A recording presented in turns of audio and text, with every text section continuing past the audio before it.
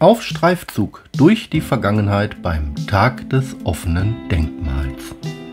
Ob Denkmal oder baukulturell bedeutsame Orte, ob mit Führungen oder auf eigene Faust, die Pforten wurden weit geöffnet.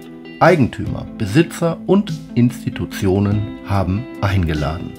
Auf Spurensuche in der Stadtgeschichte und auf der Suche nach Geschichten der Bauwerke längst vergangener Zeiten. Erlebnis pur und Erinnerungen satt. In historischen Bauten, die sonst nicht oder nur teilweise für die Öffentlichkeit zugänglich sind.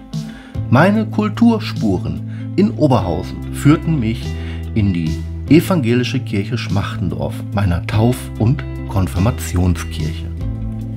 Nach der Profanierung der seit 1906 geweihten Kirche kümmert sich der 2018 gegründete Verein Kirche Schmachtendorf liebevoll und hingebungsvoll um den Fortbestand des seit 2015 eingetragenen Denkmals, welches heute als Veranstaltungsstätte genutzt wird. Im ehemaligen Pfarrhaus wurde ein Wunschcafé eröffnet.